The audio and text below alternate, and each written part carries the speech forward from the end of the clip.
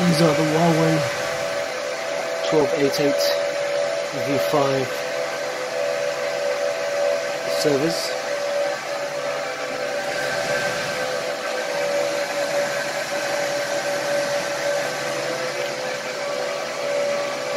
Two of these will be used as the ESXi hosts for the VM infrastructure. It's currently being set up.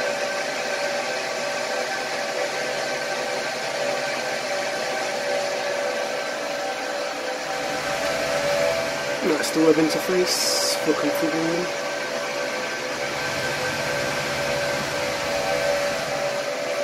So they're identical uh, to that one and the one that's over there in the corner.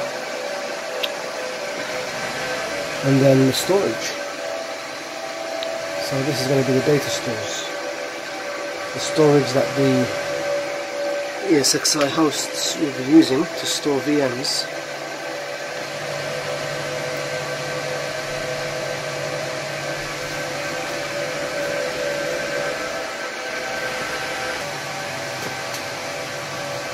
So this is the storage, the OceanStor 2200 version 3. This is going to have, I believe, 64 terabytes of storage. It's not configured yet, so there's a number of components still missing, including the actual disks once this is configured with the RAID setup and set up for iSCSI connection, this will be pointing or used to point to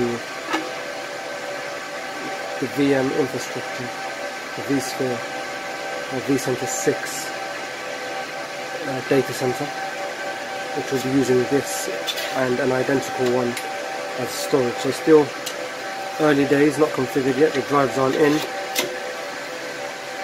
Um, yeah.